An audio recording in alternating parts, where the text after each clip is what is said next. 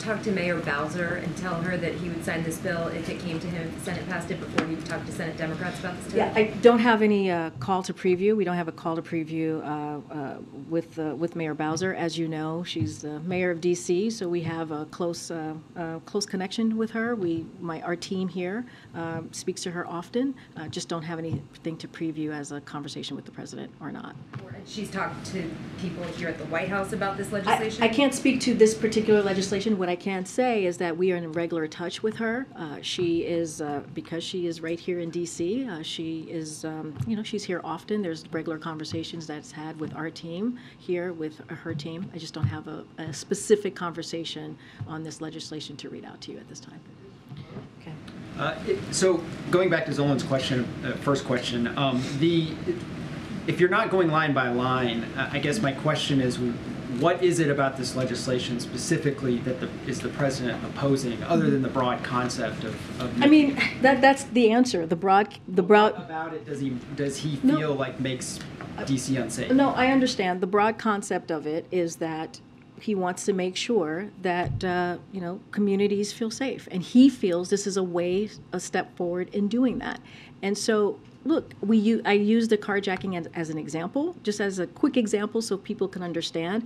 I'm not going to go line by line. That's not something that we tend to do here, go line by line on every piece of legislation. We tend to lift up things that make sense, things that, uh, uh, that can be easily understandable for the American people. So that's just an example that I used. But more broadly, this is a president who has led on making sure, putting forward uh, historic, uh, historic plans to make sure that pub, there's public safety is, is a priority to make sure that law enforcement uh, are able to that we have law enforcement that go into communities and make make sure communities feel safe.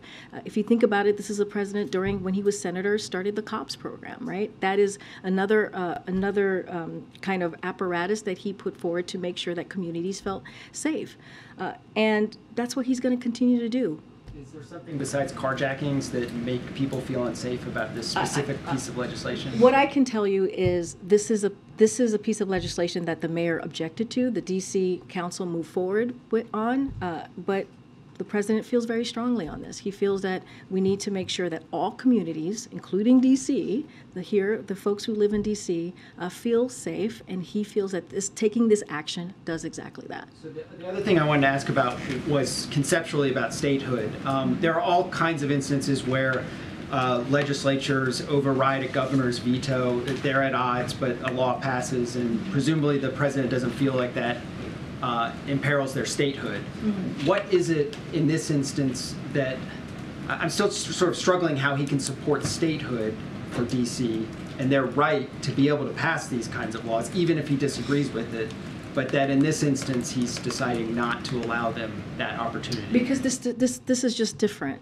This is different, again, because the DC Council put these changes uh, forward over the mayor's objections. And so this is a, just a uniquely different situation that the president has been presented with and is going to take action on. if they had statehood, then the council could pass this and And that would be law. great, and that, that would be fine, right? Because the statehood would allow them to be the 51st state, and it would allow them uh, to act as their own, uh, as their own entity. And the president is continuing to fight for that. He's been calling for that for the past 20 years.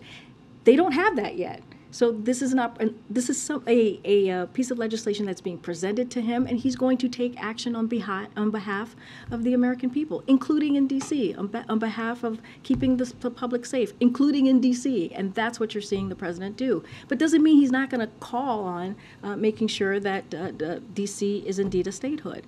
So this again, this has been presented to him. He's going to take action on behalf of the American people. But of course, he wants to make sure uh, that D.C. does have statehood, as he's been calling for it for decades. Okay.